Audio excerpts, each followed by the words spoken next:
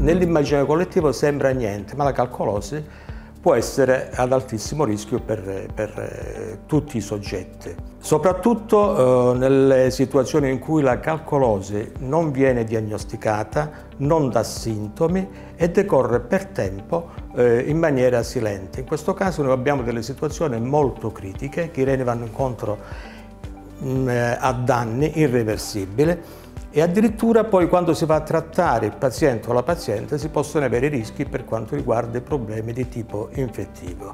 La complicanza del calcolo si ha eh, prevalentemente quando il calcolo si sposta e crea ostruzione e sono rappresentate fondamentalmente da due, da due situazioni dall'idronefrosi, cioè dalla urostasi, cioè la questurina che non scende perché c'è ostruzione, che l'idronefrosi all'inizio, mm, cioè all'inizio, possiamo avere un'idronefrosi sintomatica, quindi con colica, una idronefrosi senza colica, avere solo un senso di peso al fianco dove è localizzato il calcolo, o addirittura non avere nessun tipo di fastidio. E questo è quello più pericoloso che poi ci porta al danno renale in maniera irreversibile.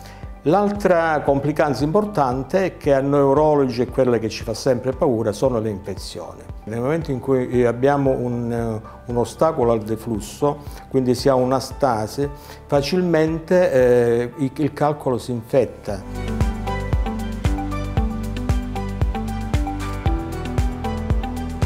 È importante fare prevenzione.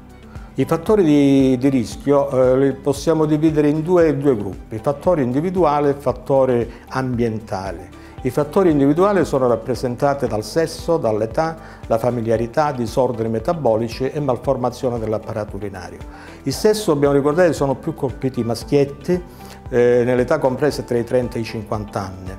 Per quanto riguarda invece i fattori ambientali abbiamo il clima, quindi un clima tipo il nostro che è un clima caldo umido favorisce la formazione di calcoli, le condizioni socio-economiche, più si è, diciamo, ehm, aumenta il benessere e peggio è per quanto riguarda la calcolosi. L'attività lavorativa è anche importante, le abitudini dietetiche e la sedentarietà. L'assunzione dell'acqua è fondamentale perché il calcolo in effetti che cos'è? È un, eh, una massa solida che si forma all'interno dei reni eh, per precipitati di cristalli, che all'inizio i cosiddetti cristalli formano l'arenella e poi questi diventano dei calcoli veri e propri fino ad arrivare a dei calcoli più grossi di una pallina di, da golf. Poi il loro spostamento determina poi la colica. La prevenzione alla base è bere l'acqua, l'unica vera terapia che ci dà i risultati è bere acqua.